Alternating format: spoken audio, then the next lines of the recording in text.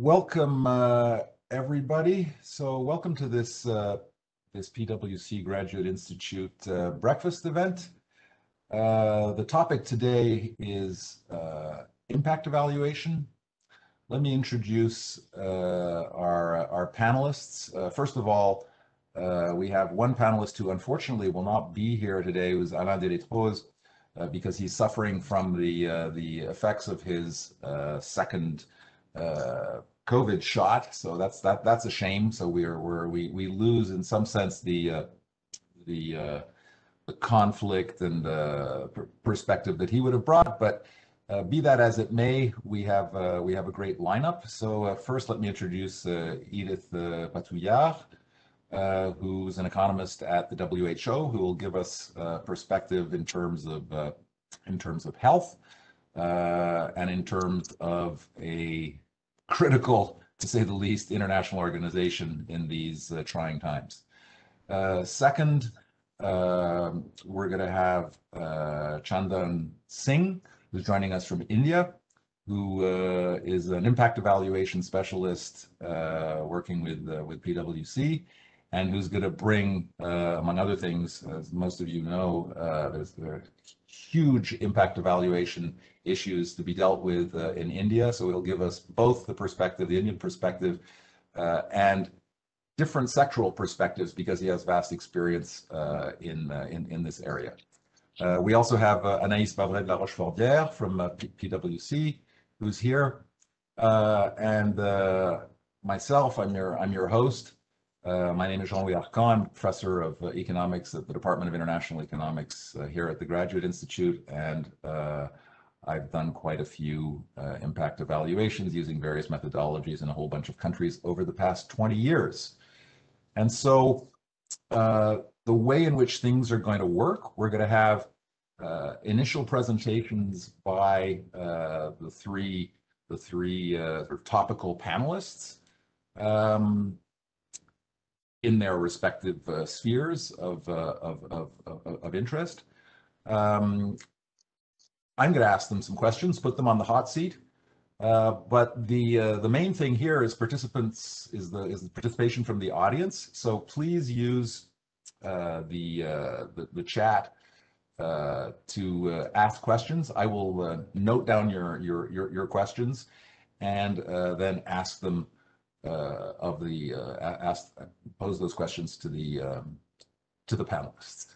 Right now, I see on the screen we have uh, 94 people, 95. It's sort of it's sort of clicking up. Uh, there's uh, more than 250 people who are signed up.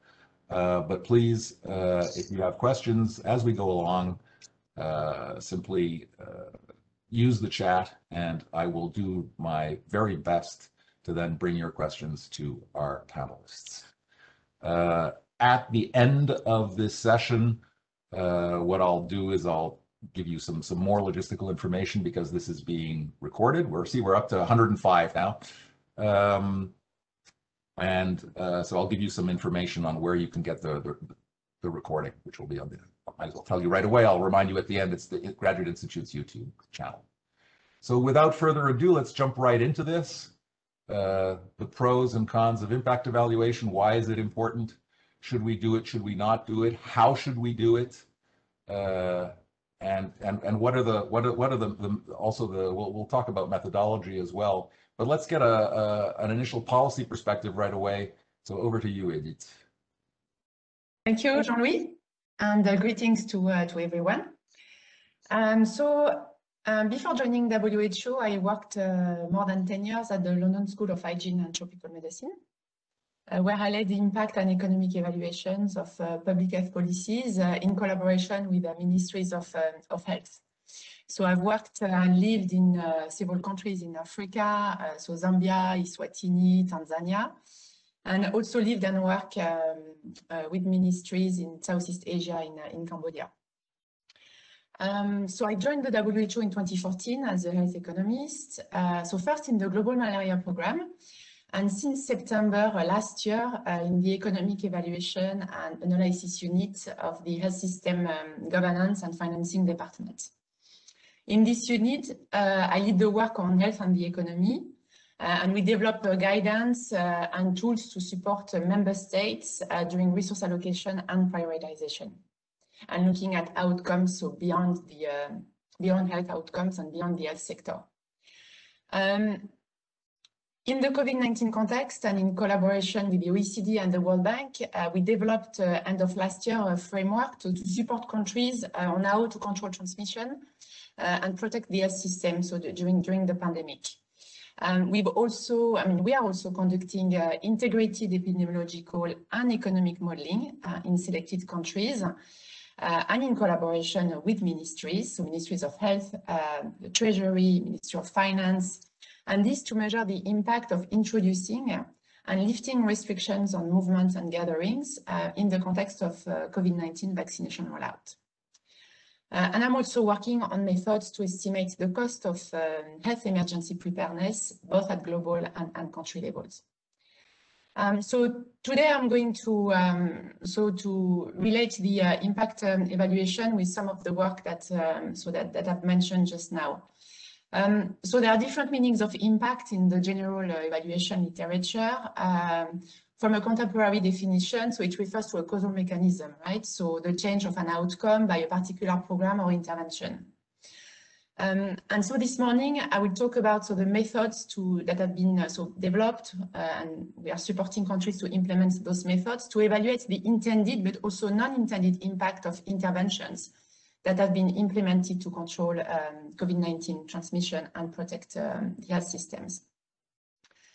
Um, so we focus on public health interventions. So as Jean-Louis said, you know, taking like the health sector perspective, uh, but those public health interventions have not been all uh, implemented in the health sector. So if I take an example, for example, stay-at-home orders or um, closing schools and businesses um, were public health interventions, but they were implemented outside the health sector and this to protect lives, again, and reduce the risk of overwhelming health systems.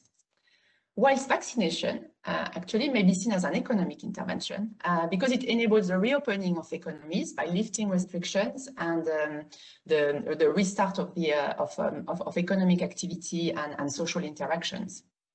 So overall, the theory of change, we could say, seems to be relatively straightforward. Um, so we have interventions such as movement and gathering restrictions, that have been introduced so to reduce the risk of acquiring and spreading infection with COVID-19 in different community settings and to reduce the risk um, of overwhelming their systems.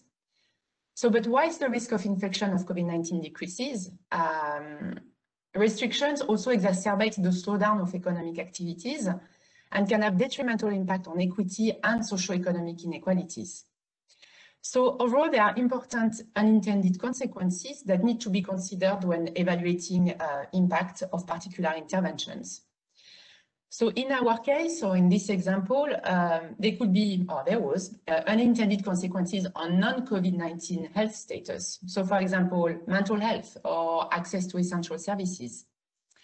And in terms of socio-economic status, there was a clear reduction in the number of hours worked, uh, reduced income um, in some countries where um, financial protection coverage is, is, is, relatively low or where the informal sector um, is, is large. And as observed globally, really a reversal in gains of poverty reductions that have been, that have been achieved uh, over the past decades. And so some debates have framed uh, this situation in terms of um, a trade-off between uh, lives on one side and livelihoods on the other side. And so at WHO, we argue that lives and livelihoods really go together. And so the impact of control measures require evaluation methods that integrate multiple outcomes. Uh, and this is particularly relevant because the state of livelihoods is also closely correlated with health status, access to care and to services, and, and financial protection. Uh, so impact evaluation should consider not only uh, also what works and why it works, uh, but also, sorry, why it works. Um, and this, part, um, this points to the importance of context. Um, in terms of the context, so the pandemic was actually associated with changes in individual behavior.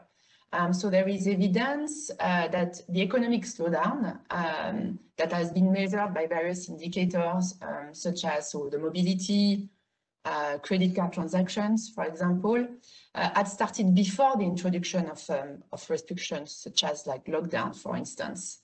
And presumably this reflected change so in individual behavior uh, due to the fear of infection uh, and in the context of, of uncertainty. Um, and the control of COVID-19 uh, has also been characterized by a sentiment of uh, pandemic fatigue uh, induced by the duration and the stringency of, of, restrictions. And there is some indication that this fatigue um, has affected the effectiveness of control measures in some settings. For instance, uh, there's been observed that the adherence to face mask, uh, for instance, in some settings was actually relatively low um, at the beginning and even uh, in the middle of, uh, of 2020. And so, and in addition um, to another factor that, that affects um, so the effectiveness of measures and also the way that uh, you need to measure their, their impact is the way that so measures and restrictions um, have been communicated or are being communicated by policymakers. And this alongside uh, to the to the communication on the process uh, that has been used to take those decisions. For instance, the degree of uh, stakeholder participation. Uh, this has also affected the way that uh, those measures, those, those restrictions have been received by the public and thereby also affected the effectiveness of measures. Um, and we have witnessed some public debates concerning the lack of transparency in some of the decisions uh, taken and a lot of uh, you know, unfairness around, uh, around those restrictions. So the, co the causal pathways between uh, intervention and impact appear to be much more complex. Um, and it's really influenced by the implementation context and also the phases of interventions and the way that they that those interventions or measures have been designed and the way as well that they are communicated to the overall public. So it's really important to think about okay the what but also the the how. Um, so calibrating uh, control measures um, in terms of COVID-19, but also certainly in terms of other uh, pandemic, is quite complex because it has a direct and indirect um, impact in terms of health and socioeconomic status, poverty, access to care. Uh, and this impact is really going to differ across different populations in now, but also in the future. And it's really characterized by the uncertainty, uh, by the urgency of the situation, and by really the need for multiple levels of decision making. Um, so in this type of context, we can think that there is, um, so there is no right or wrong answer and no one size fits all strategy.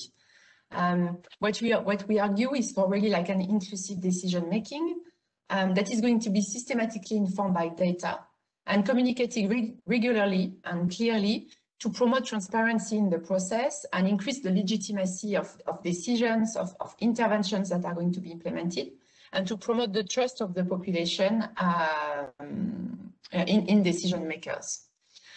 So at WHO, so we've developed this program of works to support uh, decision makers to evaluate the impact of their policy choices uh, in terms of increasing the stringency of, uh, of control measures, lifting also those control measures, and this in the context of different uh, vaccination uh, administration rate and, and, prioritization strategies. Uh, and looking at, um, so having this, this program of work that supports decision makers, looking at uh, so the impact of uh, so the interventions, but also the overall context on both health, health outcome and socio-economic um, outcomes. And so we work with member states and academic partners on integrated uh, epidemiological um, and economic modeling. Uh, so the, as the counterfactual, uh, so we draw on, say, GDP projections um, from the pre-COVID-19 period.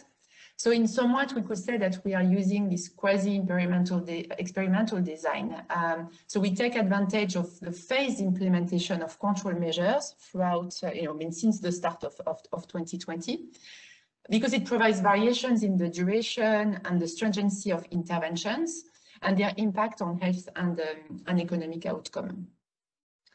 Um, and we support um, the participation of member states uh, in the generation of this evidence, so in the modeling exercises, as well as supporting them in the translation of the, of the use of the data generated for policy use and we also encourage the involvement of a wide range of stakeholders, uh, both for the interpretation of the findings, but also for their triangulation. Um, and the, this evaluation process is also the opportunity to really learn um, adjust measures so accordingly depending on the actual intended but also unintended impact that those measures may have. And also uh, given the change in the um, for example in the transmission situation as we see that um, um, they, they are like uh, continuous uh, ch changes with um, you know the, the, the variants for instance and so to conclude, and uh, so having taken the example of, of, um, of the work that we are doing uh, in terms of controlling COVID-19 and, and, supporting member states, so evaluate the, the, the impact of their policy choices. Um, I've got um, so yeah, five like general points um, that maybe can be discussed whether or not they are uh, probably applicable to other sectors as well. But it's really about the need to develop uh, so a good theoretical understanding of the change mechanism. So this theory of change that's maybe more complex than um, we think. Um, really about addressing the risk of the implementation failure. So thinking about the process evaluation, um, so, so learning uh, as we go and really assess the situation uh, regularly based on the new evidence that may, that may emerge. Um, we also recognize so the very high level influence of uh, individual behavior um, and the design of studies that collect this related evidence around um, around how individual behavior may change. So not only because of interventions, but also because of like broader uh, factors. And also need to adapt to, to, to adopt multiple uh, outcome measures. So in our case, we use both so COVID-19 health um, impact the non-COVID-19 health um, outcomes as well as more like socio-economic um, uh, status outcomes and, and, and really think about those unintended consequences of intervention. And thinking about the local adaptation as well of uh, impact evaluation methods, um, as we see that uh, in, in, in some countries, there may be already some modeling taking, you know, being, being, being used or maybe no capacity at all to, to do that. So other kind of of of, um, of methods may need to um, may, may, may need to be really may need to be used. Um, and and that overall there is no really like a one size fits all approach and that, and that the context is um, needs to be taken into account during the um, the evaluation uh, the impact evaluation process. Thank you very much. Thank you Thank you very much, uh, Edith. You covered an awful lot of ground there, uh, elicited a number of questions that we'll get back to uh, later, uh, and which will also allow me to jump in on various things that you uh, that, that, that, you brought up. Um, Chandan, you want to you want to jump in now? Yeah, sure. Thanks, thanks, Professor. Good morning, everyone.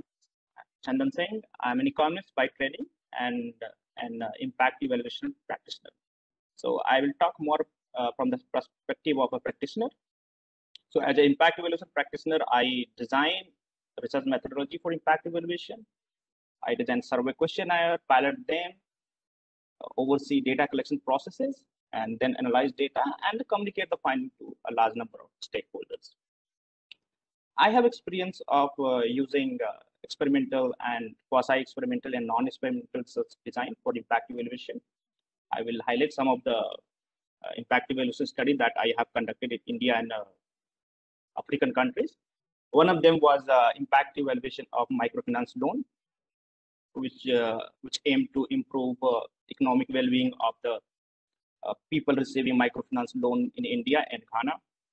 In that study, we used quasi-experimental design, which basically means to have a treatment group and a control group design Recently, I uh, led an impact evaluation of skill development program, which aimed to improve employability of uh, youth in India. The study was conducted uh, in one of the Indian states. And in this study, the outcome indicator was employability. So generally what happens in labor market, all skilling programs or active labor market programs, they aim to increase your chance to get a job. Uh, but the job scenario depends on demand side factor also. It's, it's not always uh, right to attribute that you will get the training and you receive the training, you pass the training course and you will get a job because job depends on many other factors in economy also. So it may not be a justice to you know, say that uh, your program has failed because after uh, receiving the program, people were not employed. So what we did in this context that we design an index which basically measure employability level of participant. So we measure impact on employability index, not on job outcomes. So again, it was a treatment control group design where uh, we, we, we had opportunity to uh, build a strong counterfactual and we tried matching methods to ensure that the groups are similar so that we can we can try to answer the question of attribution in this study. I have also been engaged by uh, private clients to measure impact of their projects as a part of a corporate social responsibility. So in India, the corporates are required to spend 2% of their profit on social development programs. So they generally uh, expect uh, us to carry out evaluation for their projects. Uh, but uh, for corporate clients, uh, generally typical impact evaluation method like quasi-experimental or experimental or non-experimental design may not work or because they, they like to understand return on investment. For them, it is always return on investment. So they, they like to understand, I invested this amount of money. So what happened to my money in terms of return? So for them, we use uh, methods like social uh, return on investment, SROI. So which is not a purely impact evaluation method, but it tries to somehow get the picture that what happened to their intervention. So I was also engaged by uh, private client on this uh, kind of uh, evaluation studies. So as we progress today, I will be uh, sharing my experience on how to implement uh, impact evaluation at the ground level, what are the challenges we face, and also we can uh, throw some perspective whether every program should be evaluated or is it I mean, should a particular program should be evaluated or should every program should be evaluated? When we should think about evaluation, should we think about evaluation as soon as we think of the project or should we think about evaluation later on once the project has matured? What are the challenges we face at the ground level, right? And should impact evaluation just focus on measuring change on outcome or should it also focus on understanding how those change were achieved so that when we communicate the finding to the stakeholder or bureaucrats, we should be able to make them understand that, okay, if there is a change, this change is because of this channel.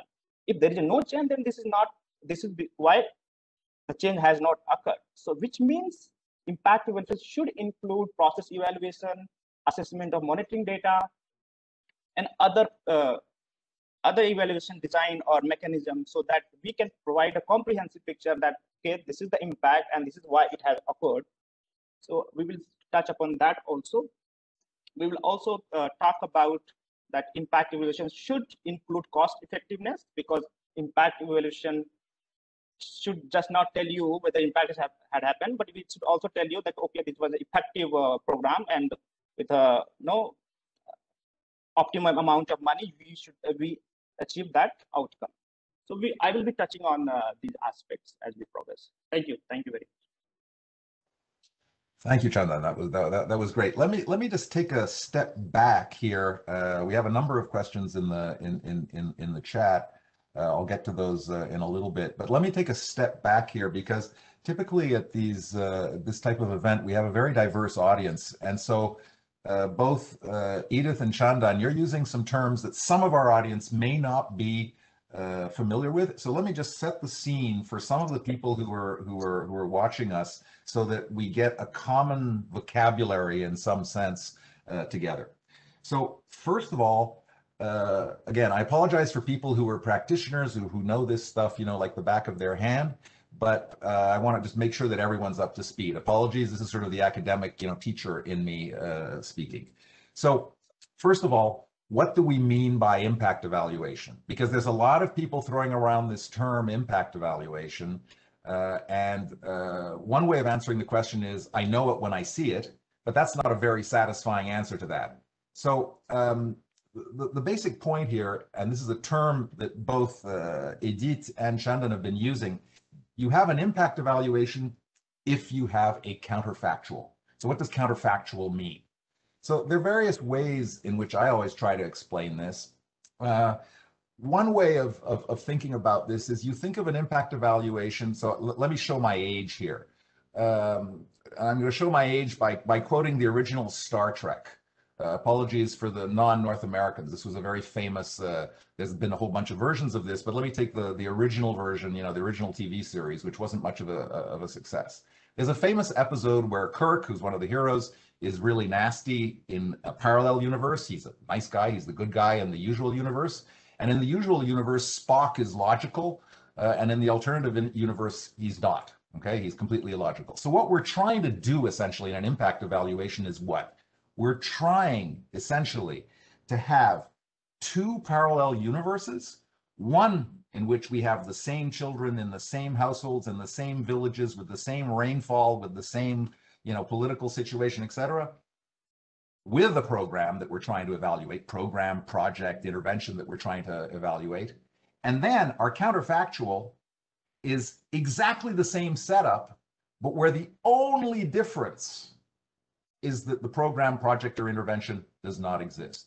And of course, this is science fiction, right? We can't have this. We can't simultaneously observe the same children, households, villages, whatever, with and without the program. Why is this conceptually extremely important? Because it shows you how difficult it is to actually do this properly. Because you're essentially, it's a question of attribution. And what you're trying to do is you're trying to identify a needle in a haystack. The world is a complicated place, and this is very difficult to do. And as you will notice, if you if you follow any type of media, politicians don't understand this. They're continuously saying, "Oh, you know, the good job situation in in country X is because I did such and such a thing," whereas quite often it's simply something that came from his or her predecessor, right? So attribution is very, very, very difficult. So that's the first thing. Just if you don't have a counterfactual, if you don't have a good counterfactual, you don't have an impact evaluation. And your impact evaluation is only as good as is your counterfactual. Let me give you like a, a, a current example of this. So last year there was this very uh, visible paper done by uh, on COVID on COVID-19, looking looking at the effect of various interventions. So it was published by uh, the Imperial College Group. So this is Ferguson, the people who were advising the British government initially on, on what was going on uh, in, in, in, in the UK. And so they they did, in some sense, an impact evaluation. It isn't a, it isn't the type of methodology that we're really talking about, but they used an epidemiological model, and they what they were trying to do was to construct a counterfactual to see how many lives had been changed. This was back in May 2020. How many lives had been saved by government interventions? Okay, and in their counterfactual, what they were doing is that they were assuming no change in behavior in the absence of the government interventions. For me, this was just like a, a stupid counterfactual. So given that in their counterfactual there was no change in behavior whatsoever, they got huge numbers in terms of the number of lives that were being saved. Probably a lot larger than they actually were. But the whole point is your impact evaluation is only as good as your counterfactual is. We'll get to the methods in a second. I see more questions appearing here in terms of in terms of uh, on, on the chat in terms of in terms of counterfactual. So that's so that's the first thing, counterfactual. Second thing, you will get a reaction of a lot of people, especially people who, which is completely understandable, especially for people who work in extremely poor countries. And uh, when you're dealing with, with, with extremely poor countries, you say, well, why should I actually spend money on this? Why should I spend any resources on an impact evaluation in an extremely poor situation? Okay, so you know, I've I've done impact evaluations in refugee camps in Chad uh, or in uh, CAR. Okay, so as poor as poor as it gets.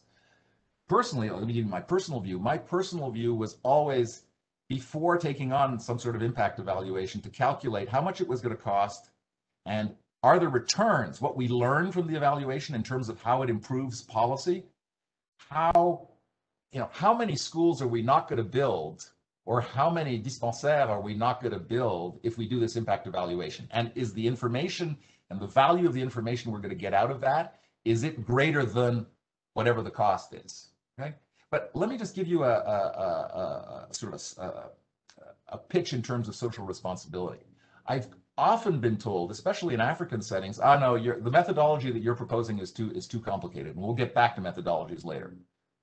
My personal view is the poorer the situation, the poorer the context in which you're doing the impact evaluation, the more rigorous your impact evaluation should be. Why? Let me give you an example. Suppose that you're going to evaluate a program in, in Switzerland, in, in, in the canton. You're looking at some sort of social intervention. If that program doesn't work, if it's a failure, how many children are going to die? Well, probably none. We're talking about Switzerland. Nobody's going to die. But if you're doing, if you're if you're looking at a program in Mali or Burkina Faso, you know, some of my favorite countries, I don't want to make, uh, you know, je veux pas faire de jaloux, but I mean, these are countries I absolutely love. But they're very poor countries. If your program is not working, you're killing children. So the social responsibility, sort of the, the, the moral imperative to evaluate things, again, feel, you know, anyone in the audience, feel free to disagree with me. But the moral imperative for me in terms of rigor is much greater in situations of poverty than in situations of wealth. So I, for, for me, you have more of a social responsibility to do impact evaluations in situations of poverty than in situations of wealth. Final point before I then turn it back to the to the uh, to, to, the panelists because I certainly don't want to monopolize uh, time here. Um, in terms of methods, okay. So again, again for the people in the audience who who who, who see these these terms flying around, let's just get again come back to this this common vocabulary. A lot of the vocabulary that impact evaluation specialists use is vocabulary essentially that comes from the medical profession. Okay? So impact evaluation is not something new. It's been around for close on to a century. The methods that we use, most of them, not all of them, but most of them have been around for at least half a century. So you've heard two terms which have been used here. You've heard the term experimental evaluations versus quasi-experimental evaluations. Okay, so let me just give you like the you know the the two minute catch-up class on on these on, on these methods. So experimental methods, as the terminology says, that you run an experiment. Okay, so this is typically, for example, again, in the in, in what's going on currently. So you'll have Pfizer or Moderna basically running an experiment where you randomly, so when we talk about experimental methods, it means it's an RCT. An RCT is a randomized controlled trial. Okay, this is the standard terminology. Everyone uses this terminology. So basically, you randomly assign people into treatment and control groups. Okay. Uh, you randomly assign them into treatment and control groups. Economists actually do this in this very simplistic fashion. People who do serious RCTs, and there are some economists who do serious RCTs, you actually usually have three groups. You have treatment, control, and placebo. Okay, because as most of you probably know or have read, sometimes placebo effects, the simple fact of being treated, by, for example, by a drug or actually by a placebo, which is the drug without the active chemical, you know, the molecule in it, you can actually get what are known as treatment effects. You can have a positive effect from a drug, even though you're getting a placebo because you think you're getting a drug. Okay, but that's experimental. It's an experiment. Okay. So those are the experimental methods or RCTs. On the other hand, you have quasi-experimental methods, and there are four of those. There's not three, there's not five, there's four. There always have been four, and there always will be four. So those four methods are basically matching methods of some kind. Okay, so basically where on the basis of observed characteristics, sometimes this is called propensity score matching, but there's genetic matching, there's all sorts of methodologies, but you basically use the characteristics of individuals when I say individuals, it's in the statistical sense. So it can be children, households, villages, countries, whatever. Basically to construct an identical twin. Okay. So again, this is in this whole concept of a counterfactual. Another way of thinking it is it's what you're trying to do is a twins experiment. What you, and I'm not talking about that horrible film, you know, with Danny DeVito and Arnold Schwarzenegger from a few years back. Actual monozygotic twins. And what you want is of these two twins, one is treated by the program. That's the terminology that we use, the medical terminology that even economists use. And the other twin is untreated because there, you know, the genotype is the same in the two. So you're controlling for everything. Okay. So matching methods essentially based on people's observed characteristics, their age, their ethnic group, the, where they live, the characteristics of the village where they live, etc. You create your counterfactual based on observed characteristics. Okay. This, of course, has the weakness that there may be unobserved characteristics which are correlated with what's known as treatment status. Treatment status means getting the program versus not getting the, the program. Okay, so again, translation, treated individuals are people who get the program or the intervention. Untreated individuals are those who do not. In experimental methods, that's determined by flipping a coin. intuitively speaking. Okay, so back to the non-experimental methods, the four. One, matching, some sort of matching. Two, what's known as RDD. So what is what is this charabia, as the one would say in French? RDD is regression discontinuity design. Okay, so economists quote discovered this in 1999. Political scientists have been using it since 1963. So as usual, as economists, we're always late uh, in terms of actually understanding stuff. But RDD is a very useful method because the way it works is quite often treatment status, whether you get a program or not, it depends on some bureaucratic rule. Okay, so for example, you get a scholarship if your score, your test score on such and such a thing is greater than some threshold. Okay, or you get an anti, you you're allowed to participate in an anti-poverty program if your income is below some threshold level. Okay, so that statistically we can exploit this threshold because people near the threshold, just to one side and to the other, some of the people are treated, the other half of the people are not treated. They're basically statistically the same, both in terms of observables and unobservables. So that's the second method, RDD. Third method is essentially using panel data. So using panel data, the, the term which is quite often used is DID, difference in differences. So basically what we do is we follow groups of people the treated people and the untreated people. We follow them over time.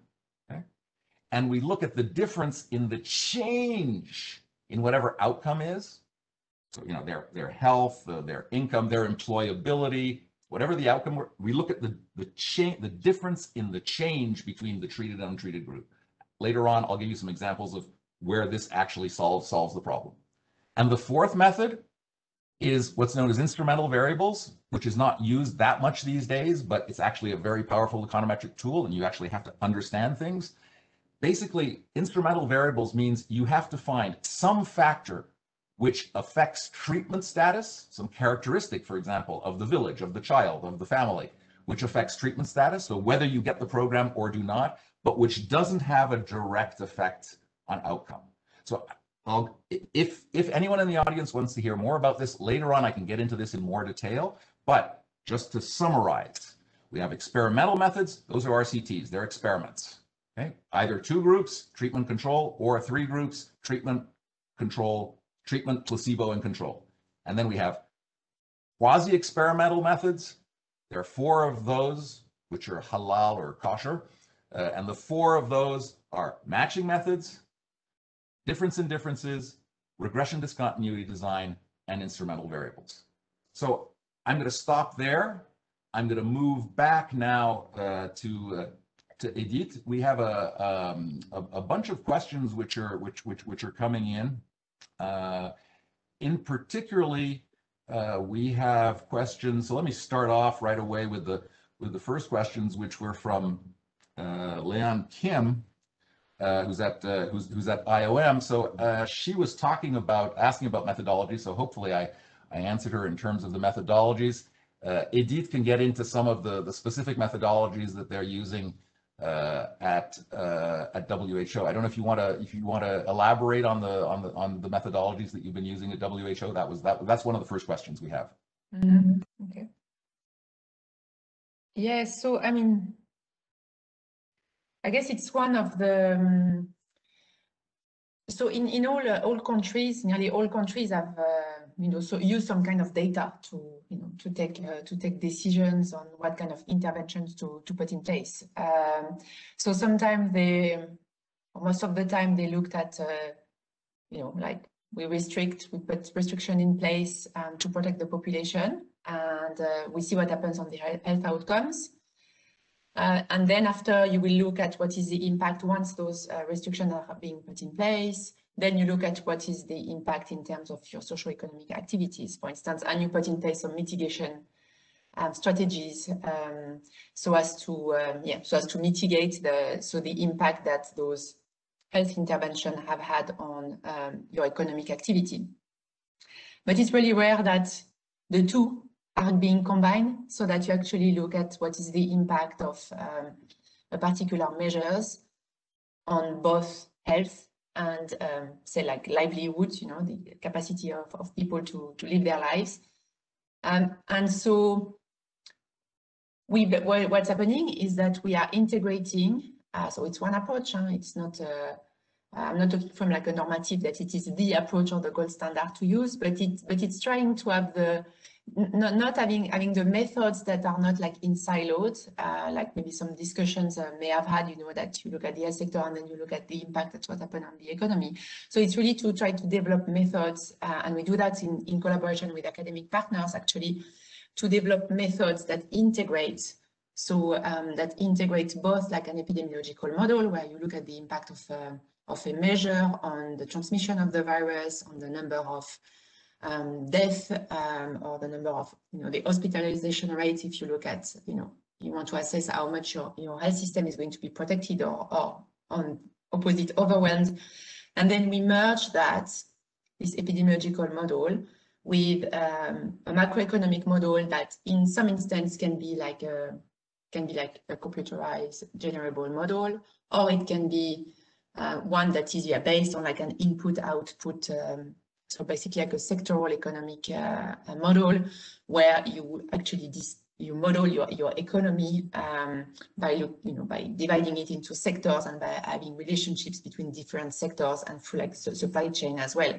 And, and so it's really about trying to get multiple outcomes being assessed through like a common basically framework. Um, and maybe I can come to the challenge after. Obviously, it's not, you know, it looks it looks um, it's attractive, but obviously it's data, you know, it's data intensive and, and method intensive. So um, so there is also a lot of work to to do around like the you know the, the data um, that you need to actually feed uh, feed those kind of models. Um, and maybe just to cite one will be not in all countries you will have um, you know, hospital capacity, you know, having like the number of beds uh, that are available in hospitals. Not all countries have this kind of data, and you do need to have those kind of data to feed into your epidemiological model. And you also need to have for both the epidemiology uh, and the transmission, you also need to have some data on, con on contact rates. Um, because this is what's going to inform the intensity of the transmission and contact rates. Um, so not only in terms of the mobility data, you know, that maybe like Google um, or Facebook, you know, have been tracing um, last year that have been very helpful, but that doesn't tell you really in like in different sectors and depending on people's occupation, you know, how much contact, uh, and so what is the risk of, of getting COVID-19.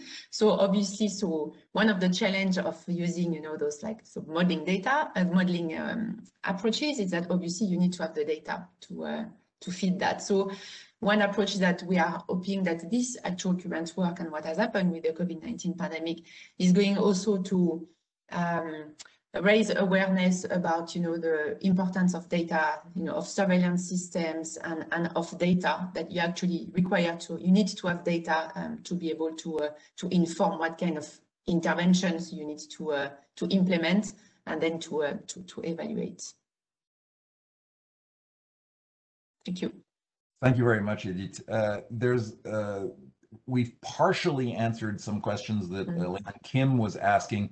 That, and by the way, I apologize if I butcher your name uh, when when when pronouncing the, the, the names of people. So uh, uh, please do not be offended uh, if I if I if I do not pronounce it correctly. So we we also have a question from uh, Kamolidin uh, Diyarov uh, on designing treatment and control. We'll probably get back to that. So apologies if we don't like. There's a there's a specific there are two specific questions for Chandan here in terms of the the basically rates of return and what, what you mean in terms of social rates of return. This comes from both Leon Quing and uh, Kim, excuse me, and from Matteo Guidotti. There, I, I speak Italian, so I'm not going to butcher uh, his name. Yeah, sure, thanks.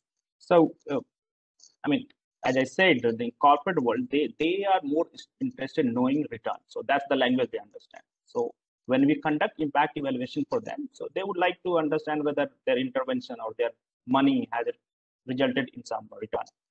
So again, we try to use impact evaluation concept while measuring those returns. So what we do is that we try to understand social, economic, and environment benefit of the program. And then we monetize them using proper, uh, there are methods to monetize economic benefits, social benefits, environment benefits. Basically, it's a cost benefit analysis. So we monetize them and then we divide them by cost. But again, so this is simple return. But while doing SROI, there are two, three factors we also consider. So one of them is to ensure that entire return is because of the program. So we try to include attribution factor there. So there are three concepts basically. One is attribution. So while measuring uh, social, economic, environment return, we try to understand are there any fa other factors which would have contributed to outcome. So those has to be negated from the analysis. Then there is a dead weight, which basically even without your uh, intervention, there would have been some natural growth in the outcome. So that also needs to be accounted from your uh, analysis. And then there is a displacement effect. So the displacement effect is basically if someone is getting benefited from your program, does it mean that someone is not getting benefited? For example, let's say that I train somebody in skill uh, by providing skills, then the person get a job. So does it mean that that person has captured a job which would have been taken by someone else? This is very different to actually analyze while doing this, but these are three things we consider while measuring SROI.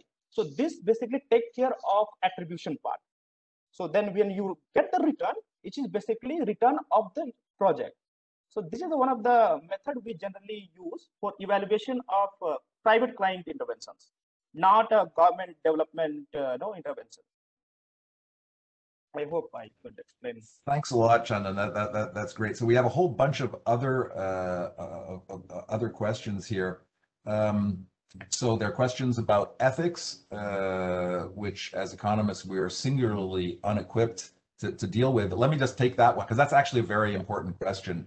Uh, some people, so, so again, I've got into trouble by criticizing experimental methods. I do I do RCTs, uh, but I got into but in some sense from the ethical standpoint, there are people who criticize RCTs uh, and say, how can you deny treatment to people? Well, in the medical profession, when one does an RCT, um, one of the pro problems, unquote, is that because of ethical concerns, it's very difficult to actually have an, a, re, a, a real control group because for ethical reasons, one actually has to give all sorts of alternative treatments to people in the control group for ethical reasons. Let me just give you a, a, very simple reason why actually an RCT may be the most ethical way of doing things. Uh, given that normally you don't have the resources to quote treat everybody uh, with a program inter, you know project or intervention, what's more ethical in terms of denying people treatment? Flipping a coin or giving the treatment to people who happen to be the cousin of the person implementing the program? Okay, I rest my case. Okay, so in, in, in that sense, ethically speaking, an argument can be made that an RCT is actually the most ethical manner of, quote, denying treatment, unquote, to a certain number of people. But normally you have to deny treatment to some people because you don't have the resources to implement it for, for, for, for everyone. There's a question also in terms of, uh, that was from Matteo again. Uh, there are questions uh, also in terms of uh, so I, I, also see that, that, that, there are some Star Trek fans out there, so that's nice. Um, I'll, I'll, get back to that in a second. Uh, this is uh, Joe Cutson who who who who, who who's bringing up Uhura, McCoy, and Scotty. So this is a real Star Trek, the real Trekkie of the the real Star Trek. But the, the, the qualitative issue. This is, I think I think that my my two co-panelists here are going to agree that this is not a question of quantitative versus qualitative. It's a question of frame of mind it's a question of thinking in terms of counterfactuals. An impact evaluation does not, repeat, does not have to be something which is necessarily quantitative.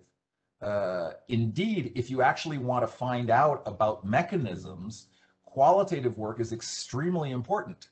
And uh, economists who work on this, and there's also another question which was which is brought up um, it's further down in the chat. So it's uh, Beatrice Keller who asked this question, do you have to be an economist? Heck no, you don't have to be an economist to do it, to do impact evaluation. Let me just give you an example, then I'll turn it over to my other panelists. So in a previous life, I was working in Brazil uh, and I was in Salvador, Salvador da Bahia, uh, and I was working with the Instituto de Saúde Coletiva, which is a, a, um, a, a, a, public health center at the UFBA, Universidade Federal da Bahia, and we were working on a vitamin supplementation program in poor neighborhoods in Salvador. And uh, so my medical doctor friends were rolling out this program, and they couldn't figure out why in Afro-Brazilian neighborhoods, uh, people were not taking this vitamin supplement. And it was really strange. I mean, the take people were just like refusing to take it. And so, uh, what do we do? Well, we brought in an anthropologist, and the anthropologist went along with the people who were doing the vitamin supplementation pro- pro- program. And we realized, the anthropologist realized, and this would have been obvious to any anthropologist who knew anything about candomblé, which is Afro-Brazilian religion, the pills were black and white, black, sorry, black and red. Black and red is the color of Eshu, the trickster, basically the devil. So people were not taking the pills that were being given them. They were not taking up treatment because they associated the color of the pills with the devil, essentially. Okay. So any, you know, undergraduate anthropologist familiar with uh, Afro-Brazilian religion would have noticed this. So heck no, you don't necessarily, you certainly don't want to be just economists. You want to have a multidisciplinary team to do an impact evaluation properly. On the other hand, you need a certain amount of statistical savvy if you want to do quantitative stuff. That there's just no way around it. But you know, there are a lot of data scientists out there uh, who can help you with this sort of thing. I'll turn it over to my uh, to my co-panelists. Either of you on uh, on on on this issue of qualitative versus quantitative. Um, I think I think that's that's that's a really really important Yeah. important point. And in terms of counterfactual, Now, as you have rightly pointed out that, uh, I mean, qualitative methods will definitely help us understand more about the impact because the quantitative impact evaluation generally tends to answer question whether there is impact or not, but it may not be able to give good insight with how those impacts were uh, achieved. And this is a very crucial question for policymakers. So let's say you conduct impact evaluation and then you go to the bureaucrats or policymakers and say, okay, your program didn't work. The next question will be why it did not work. So let me give you an example. Let's say that uh, you are uh, asked to measure impact of distributing textbooks to children in the schools, and you and there is a theory that okay, children will get textbook, they will use it, and there should be improvement in learning outcome and you conducted an impact evaluation and just okay, so learning outcome did not change. It's still the same. Okay, but had you gone to the school and just have observation, you might even observe that they are, the kids were not using the uh, textbook. Most of them have not got the books. So if you have not accounted for monitoring data, you have not accounted for other observation methods or qualitative interviews with teachers. Now, so you will not be able to account why impact did not occur. And if you had done that, you may even go and say, the impact evaluation is not required. Your inputs are not at place. Output is not there. How do you even expect the impact evaluation? So qualitative inputs through a process evaluation, or there is a technique called most significant change, which try to you know talk to many stakeholders, try to understand before you design the questionnaire or before you design the methodology. That will really help you answer other aspect whether output was re uh, received. Because there is a theory of change of impact evaluation you give some input that is received as output then this convert into outcome. If there is a chain broken at the input and output level then there is no impact. You don't have to do impact evaluation. That's over there. So it's really important to include other uh, collective methods or other evaluation design in your overall impact evaluation. Thanks john that was that's great.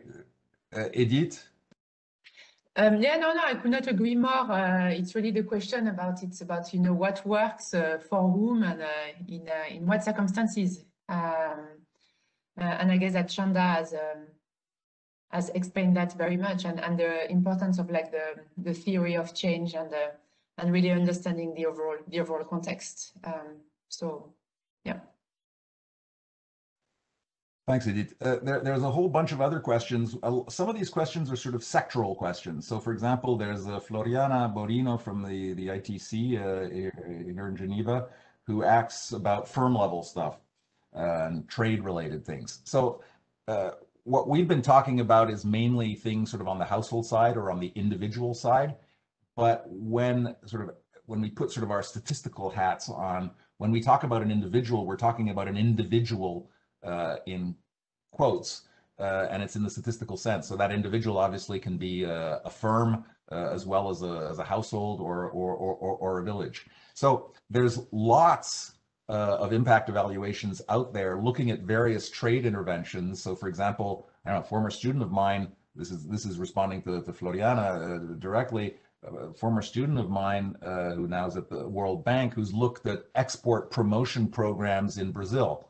But of course, the sine qua non of this is to have good data, right? So I mean, the the you know, in some sense, people who work on impact evaluations, be they economists or political scientists or whatever your field, uh, we're sort of like the FBI. Follow the the FBI follows the money, we follow the data. Okay, that in some sense that's the thing. You, you follow the data. If you don't have the data to do it, um, again, whether it's quantitative data or qualitative data, you know, forget it. And and this, this sort of brings me in some sense to a really important point, um, which uh, which which which somewhere also responds to uh, there's a question by uh, Watif Situ who was asking about um, you know, peace building and, and, and conflict situations. Uh, and uh, then there's there, there's also questions uh, on measuring impact. This is Deepak Dungal, also who's who's who's from the the AIDS Healthcare Foundation. So there's a measurement issue. Okay, so let me just be clear. Also, just let me give you an example of how important measurement is. So I quite often work on uh, programs where uh, I'm looking for a synthetic measure of outcomes. And uh, as a development economist working in you know low income situations, my favorite outcome. So like when a journalist asks me, Jean-Louis, what's your favorite uh, development outcome? Well, my favorite development, and this always surprises them, it's child anthropometrics. So child anthropometrics, basically, I haven't done a survey in the past 20 years where I haven't systematically measured and weighed all children between zero and 60 months. Those of you who know something about nutrition and health know it's, it's basically because child anthropometrics, which is the measurement of the weight and height of children, there's that. You can do MUAC, you can do, you know, mid upper arm circumference. There's all sorts of other measures, but those are the main ones, the height and the weight. It's basically determined, we've known for close on to half a century, 75 years. It's determined by household income. It's determined by uh, maternal education. We're talking about literacy, not PhDs in, in, you know in statistical physics. It's determined by basic access, you know, access to basic services such as clean water, basic healthcare, and it's it's determined by female empowerment. Those are the sorry guys, but you know we're completely irrelevant when it comes to child health. It's female empowerment, which is uh, which, which which which is important. This, I mean, this is sort of like a statistical fact, okay? But there are two main measures that are used of, of, of child anthropometrics. One is what's known as WAZ, weight for weight for age. Okay, and there's a Z at the end because our American friends call this weight for age Z score. If you speak correct English, it's a Z score. But uh, I'm just you know giving a hard time. I'm Canadian, so I'm giving a hard time to my American friends. And then there's HAZ, which is height for age Z score. Okay, so just think about this for a second. Suppose you're using these as outcome variables and you're looking at a program and you evaluate the program a year after the program started. Do you think anything HAZ changed in the height of the kids? So if you're using height for height for age has, you're using that as your outcome, you're never going to find anything because in one year, you know, there's not going to be a, a heck of a lot of a difference in terms of outcomes in terms of height. But any of you who have kids, I got three of them, you know, if a kid doesn't eat for two, three days, especially when they're a baby, their weight can go way down really fast. So weight for age is a very good short-term outcome. Height for age is a very good long-term outcome, but it's really bad as a short-term outcome. So, you know, you may not find any impact of a program, even though you get all the methodology right and everything. But if you don't pick the right variable to measure, you can completely miss things, completely miss it. So I remember this is again 20 years ago, evaluating a program in um, evaluating a program in, uh, in, in, in Senegal, where um, uh, what the World Bank was interested was income outcomes. I said, no, no, let's do income, you know, actually household expenditures, but let's also bring in child health. And boy, were they happy when we found no impact actually of their program on uh, it was a it was a community driven development program. We found no impact of their program on household expenditures, but a massive impact on uh, child health. And the mechanism through which it was working was female empowerment to a large extent, because the program was basically giving women giving women uh, greater access to income generating activities. So the, the whole point that I'm trying to make here is that you know if you can't measure it, and again, when I say measurement, it doesn't necessarily mean quantitative. It may be through some kind of interview process, you know, some sort of semi-structured interview. You know, focus group, one of the hardest things to do properly in the field is actually to run a focus group. There are actually very few people who can run good focus groups and actually extract information and not, you know, basically superimpose their views on the group, right? I mean, actually extracting that information is incredibly difficult to do. So I just wanted to bring up this point in terms of measurement. Measurement and whatever you're looking as the at, at, at, as at the, the outcome, this is particularly important when you're looking at things like peace building. How do you measure this stuff? It's very, very, very difficult to do. We, in terms of peace building, we have macro indicators. You know, we have PRIO, ACLED data set on conflict events, but this is so aggregated that it's almost it's almost you know useless from a, from a, from a policy perspective in terms of you know current policy.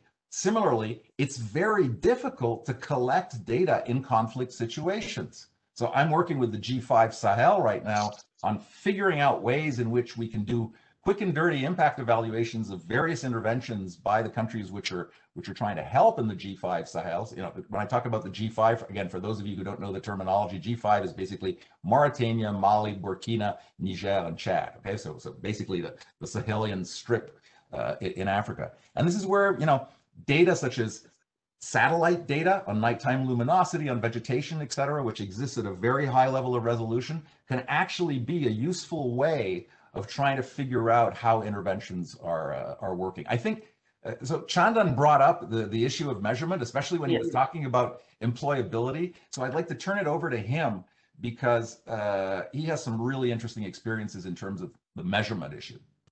Yeah. So thanks, thanks, Professor. Yes. So as you rightly pointed out that if you don't measure well, then how good your design is not going to matter. So, and measurement issues occurs at many levels. So the first is defining a proper outcome indicator. If this is not properly defined, so as I was highlighting earlier that I'm trying to measure impact of a skill development program. And what I have put as an outcome indicator is the uh, employment rate. Now, when I see economy of India, so in recent year, there has not been a lot of increment in jobs. The job creation has been slightly stagnant. Then if I go and measure that as outcome indicator, and I attribute that this uh, job outcome was changed because of the program, it's not a justice because jobs is also depending on many macroeconomic factors, investment level, how economy is doing, and even if it is at a state level. So it makes sense to measure the thing which is being changed by the project. So we designed a employability index because entire project aim to measure improvement in employment. So it's then we should stick to that. We should was increasing or not. So we build an index and then we have, this is how we did the measurement. So this is the one issue, uh, one thing at the outcome uh, level. Now, it does not in there. So impact evaluation requires a lot of data. You conduct a primary survey. So once your outcomes are defined, you need to develop a questionnaire.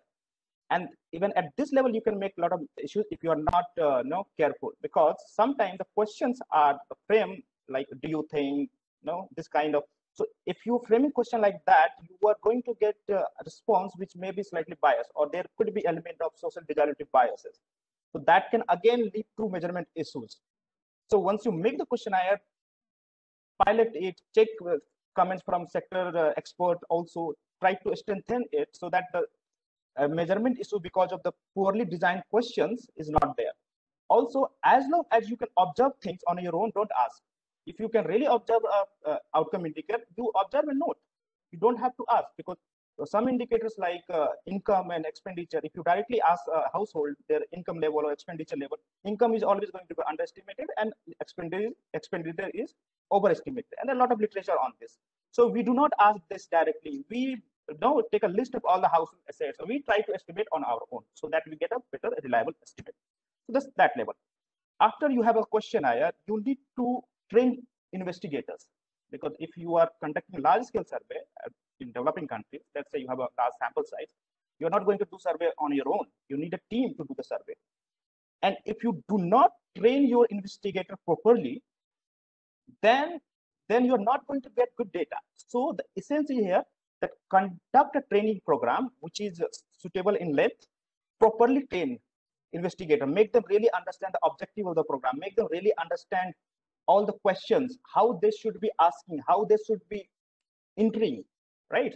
Earlier, we used to do a paper-based survey. Nowadays, it's uh, CAPI, this computer-based or laptop-based or tab-based survey. So tab-based survey, this digital platform has come, and then it completely eliminates requirement of data entry. Otherwise, earlier we used to have a lot of data entry problems. So you go collect data from the ground level, and then the data entry guy you know, could not uh, enter the data properly. So there again, there will be issue. So what we used to do earlier that we make them enter data twice so that the chances of error is reduced. Then the, when the investigator go to the household or at the field level to collect data, it is important to have very rigorous monitoring uh, mechanism to observe how they are asking or even at supervisor level, somebody can randomly pick few household and take the data you know, which was captured by investigator and then match. Nowadays, we can call even the household and again recheck the uh, no, variable re reported by the household. So if we don't do all these uh, activities, you will not get proper data. And no matter how good your design is, you are going to either underestimate or overestimate your impact. Thank you. That's that that's extremely clear, Chandan. Thank you very much for that. Let me let me just go to a few more questions which we have in the from, from the audience. So um, there was there was one question in terms of this is from uh, Obiajulu uh, uh, on contribution by project. We have another question uh, from Jeannie Sibakunzi uh, in terms of behavioral change, and then we have a very explicit question from uh, my fellow Star Trek fan, Joe uh, Cutson, on uh, uh, difference in differences. So let, let me just take a shot at all of these sort of in one in one sort of answer, and then I'll, I'll come back to, to, to Chandan on this because I'm sure he has he has something to say on either all three, but pro probably on at least two of the three.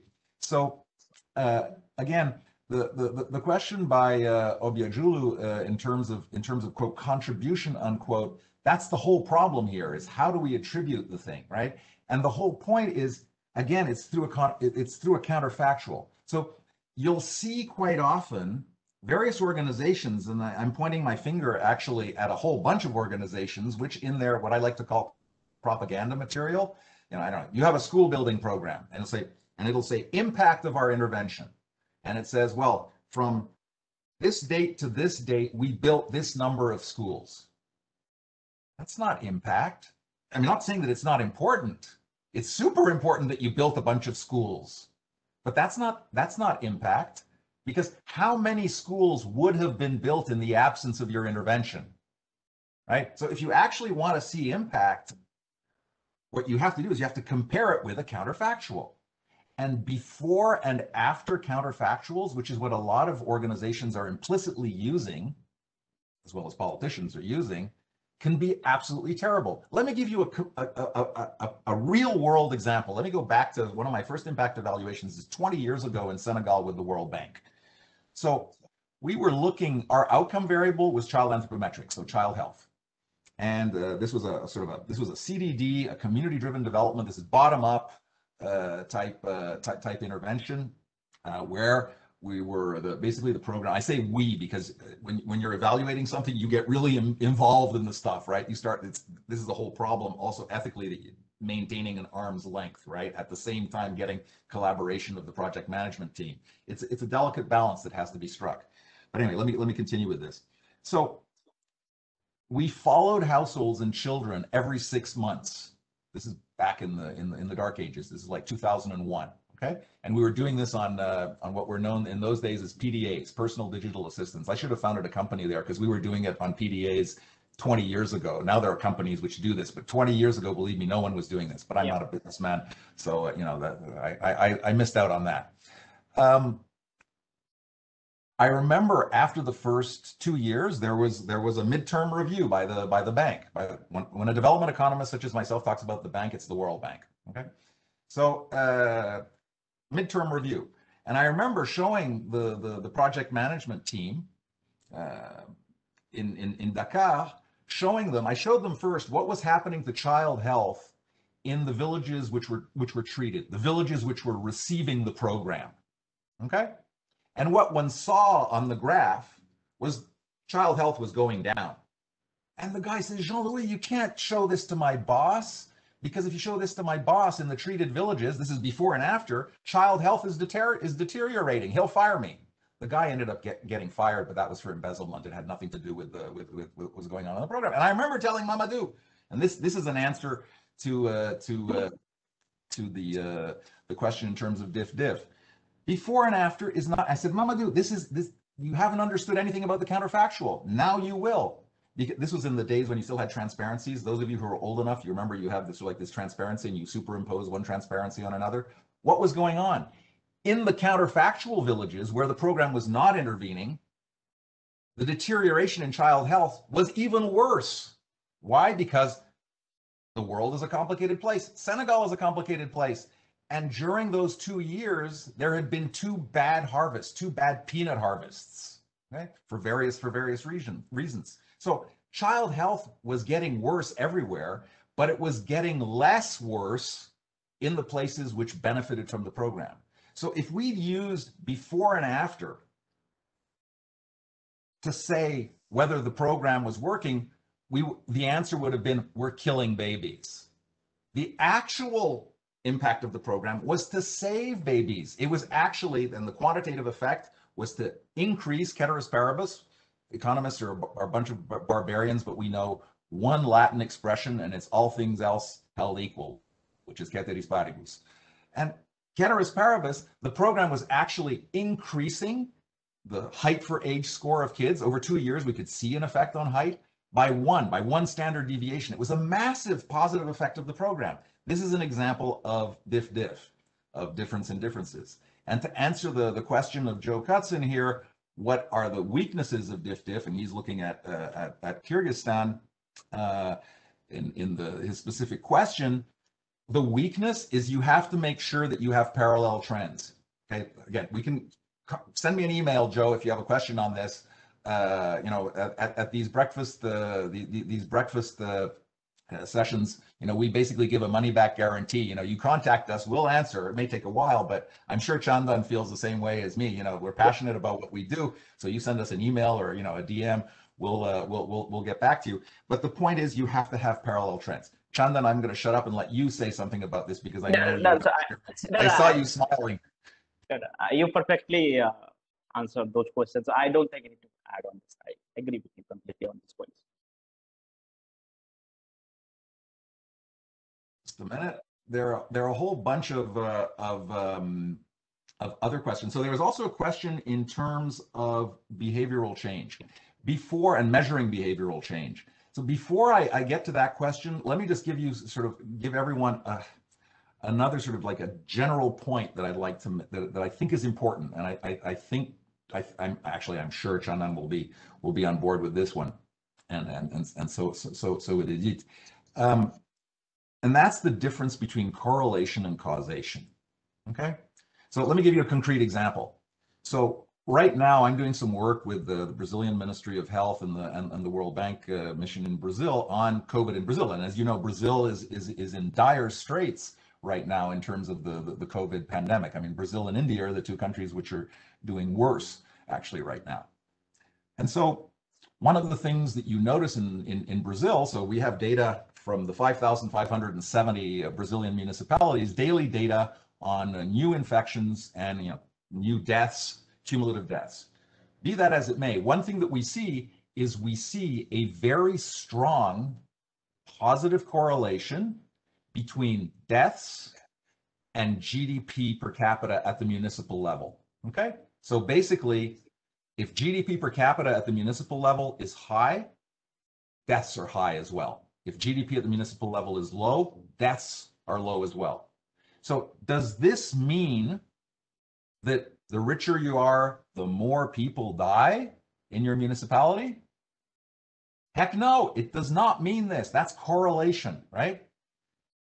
There's a whole bunch of other things going on. In rich municipalities in Brazil, uh, just as in rich districts in India, uh, or, you know, what's going on is that the richer you are, the more there is in terms of economic activity. So there's more contact between people, and there's a whole bunch of other characteristics. So, for example, emergency room beds There are a lot more of them in rich municipalities in Brazil than in poor municipalities. So if someone falls sick with COVID and gets transferred to, uh, you know, a hospital, likely, what's likely, what's highly likely is they're going to be transferred to a hospital bed, which is in a rich municipality. So causality is something which is in the eye of the behov- of, of, of the beholder. It's like beauty. Causality is a concept. When you're saying, when you're making a causal statement, you're saying, I press on this button, this is the causal effect that I get. That's what we're trying to do in an impact evaluation. But our data, be it quantitative or qualitative, all our data allows us to do is to establish a correlation. And unfortunately, and contrary to what you may have heard, this is true both of quasi-experimental and experimental uh, interventions. Because again, let me let me come back to that, that example I gave you earlier about the, the, the black and red pills uh, the vitamin supplementation pills in, uh, in, in Bahia. That was an experimental design, right? It was an experimental design. But just because your quote treatment status unquote, okay, just because you're either treated or untreated. So suppose that I, you know, I give you a pill, you don't like the pill, or you think it has bad side effects. You may find a way not to take that pill, right? Similarly, if you think that whatever the treatment is, the pill is good for you, and you're in the control group, well, maybe you'll find a way to buy the pill from someone who actually got it, right? So people's behavior is a compl- is a is a complicated thing, right? And so depending upon the context you're in, uh, again, this is this is a personal a personal standpoint. People like J-PAL and the two years ago Nobel Prize uh, Esther Duflo and and and and, and Abhijit Banerjee and, and, and Michael Kremer. These are these are people who basically only believe in experimental designs. Okay? Uh, I'm in sort of, in some sense, the minority of people who, who believe what's important is not the method you use, it's actually evaluating things with whatever method. It has to be a rigorous method, right? It can't be just before and after. But the key thing is getting things to work better. Uh, and there's a point that Chandan brought up, uh, which is um, an important point, and that is you don't just want to know whether a thing worked. You want to know why it did or did not work. And, and that's actually really hard to do. And in some place, it has to be built in to the um, built into the to the evaluation. There's a point I think that Chandan is is is very very much qualified to answer. I'd like to get him in on this, and that is when should you start thinking about an evaluation?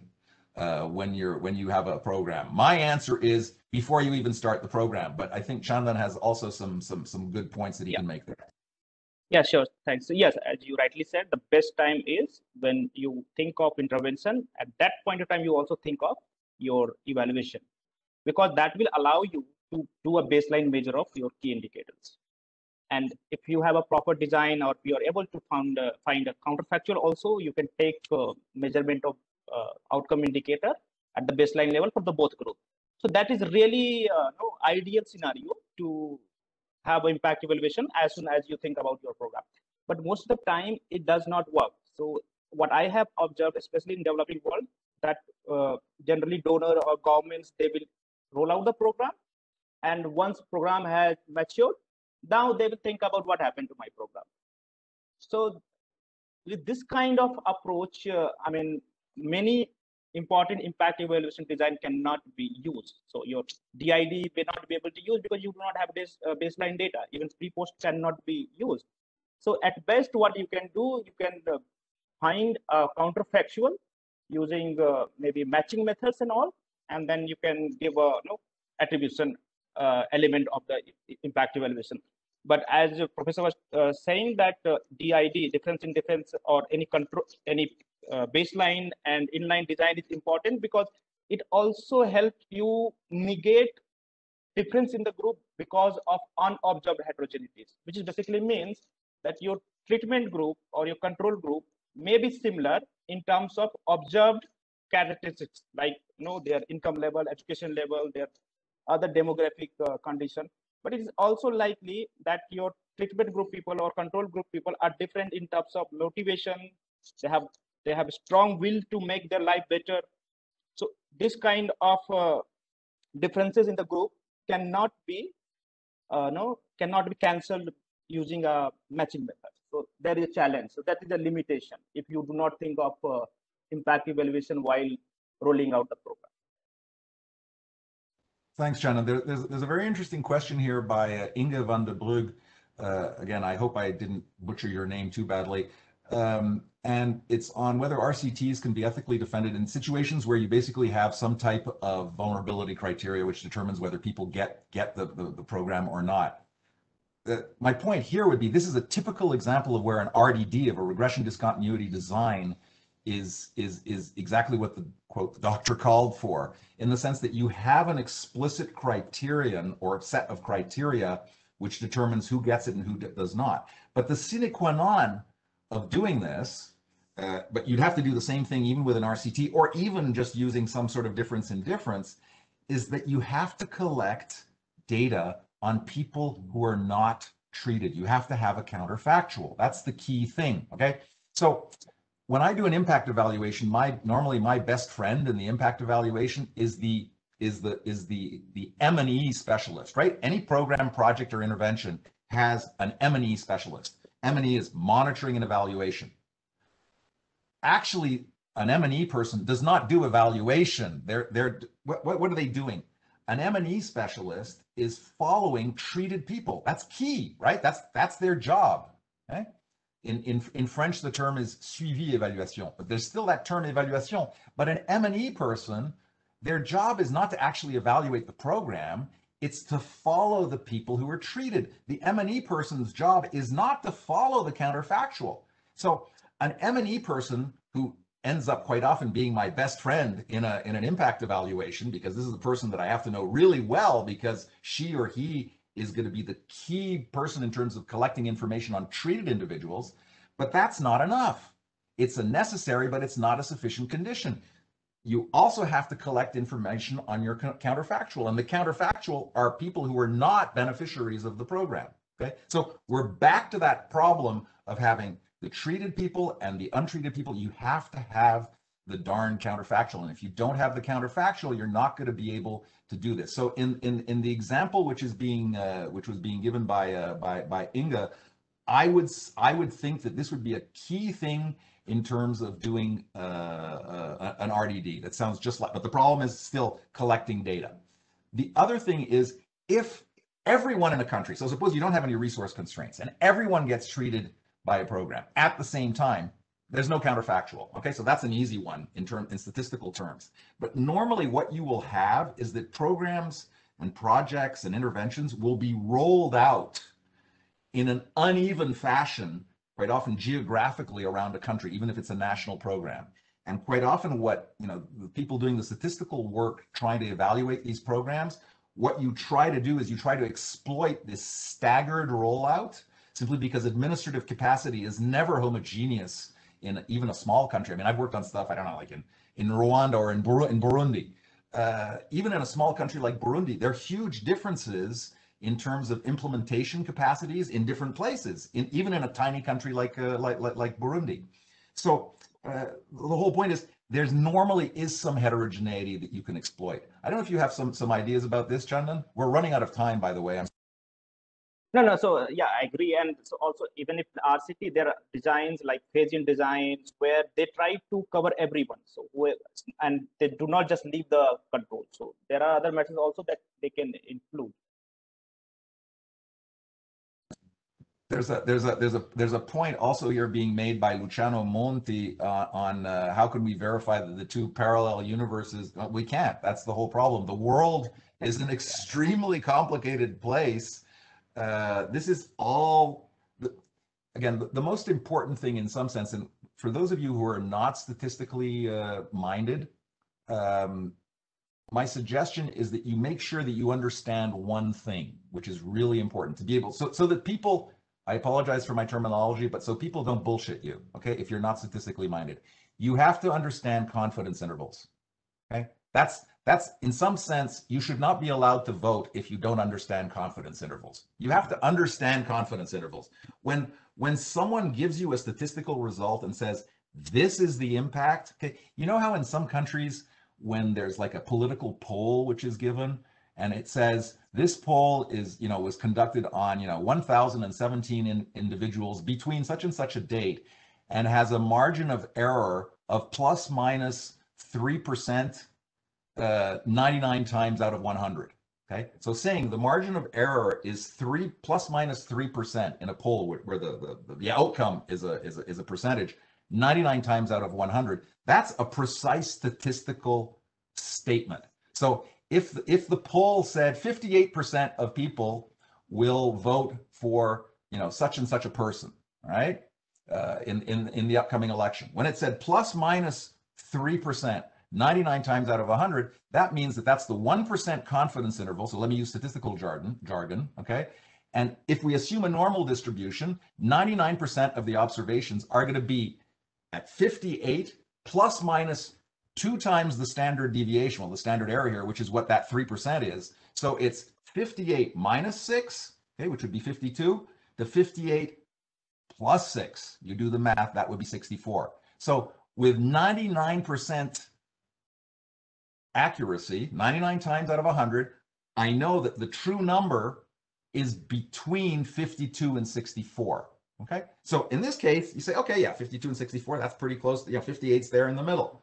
But sometimes, sometimes, and this is the whole point of statistical significance, confidence intervals are really, really large. So the number you're being given is to a large extent completely, you know, it doesn't tell you actually anything. So the statistical accuracy of the measurement is something really important. So if I have one suggestion I want to give everyone, understand confidence intervals. We've just run out of time.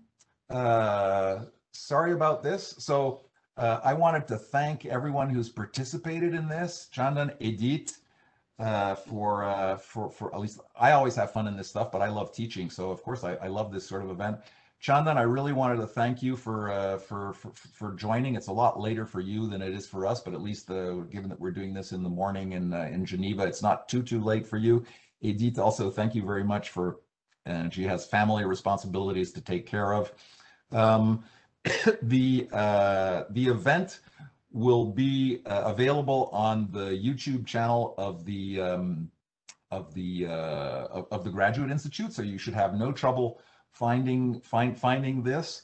I also want to give a special thanks basically to the people behind the scenes who actually make uh, the lives of the panelists extremely easy. So there's a whole bunch of people. There are three people. There's Sabrina, uh, Sabrina, Lena, and Pascal who made this uh, who made this happen. You don't see them, but we know who they are. And uh, thank you, thank you very much for uh, for helping us with that. I'll I'll leave the last word actually to to Chandan. No, so thank you, thank you so much. Uh, it was a really uh, very interesting discussion, and I was glad to put my perspective. And also, we had some very good questions from the participants. So it's great learning actually. So I would like to thank everyone, and including uh, the people who made our life easy, as you were mentioning, by taking responsibility of managing this entire event. So thank you, thank you, everyone. Thank you for everyone. So let me uh, sign out from uh, the uh, the Graduate Institute in in Geneva and look forward to seeing you in the near future at another uh, another, another Graduate Institute PwC event. It's been a pleasure. Thank you.